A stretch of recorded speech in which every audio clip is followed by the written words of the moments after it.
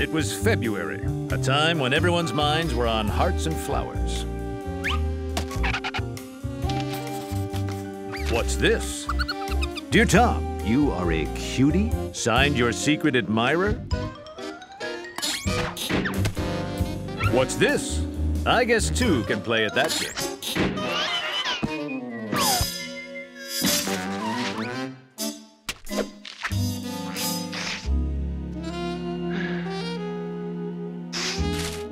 Dear Jerry, you have beautiful ears? Oh, brother, believe it or not, they do this every year.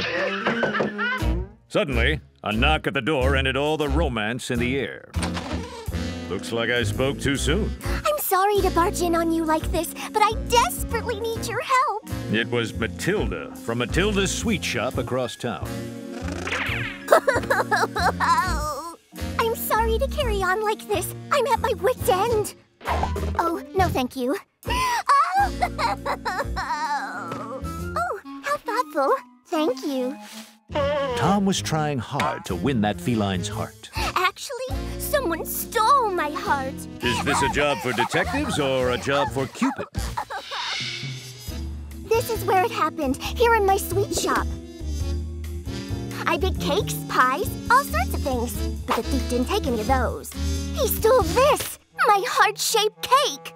This specialty cake was made for the notorious gangster Sweet Tooth Malone. And baked inside was an enormous diamond engagement ring. He asked me to bake that cake so he can give it to his girlfriend tomorrow. And now the cake and the ring are stolen. And I'm afraid what he'll do when he finds out. Please, you've got to help me. Oh, you're very kind. The PIs decided to go undercover as bakers. They assured Matilda they'd solve this case before Sweet Tooth Malone walked back through that door. Hey, you two mopes. I'm here about a cake. Hey, yous two look familiar. You remind me of a couple of private eyes that caught me once.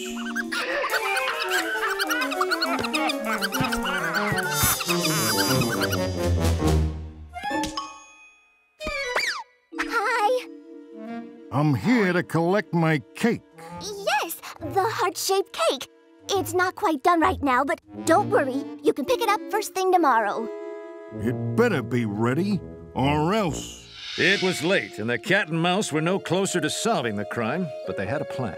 A trap. Okay, I placed an exact copy of the original cake in the window. If the thief comes back again, you'll be here to catch him. Good luck.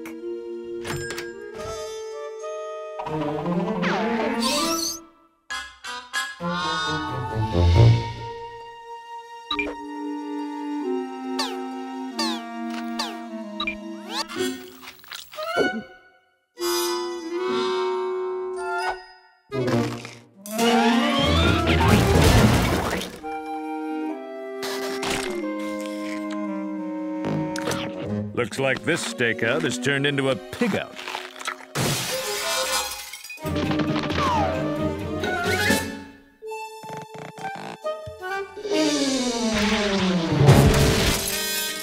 They didn't expect it, but there he was. The culprit was Tuffy, a notorious little squirt, a reform school dropout, and one tough cookie. Okay, you got me. So what of it? I was just helping out my best pal, Winston. Poor guy is all alone on Valentine's Day. So I figured I'd help him out with a cake. Wanna make something of it?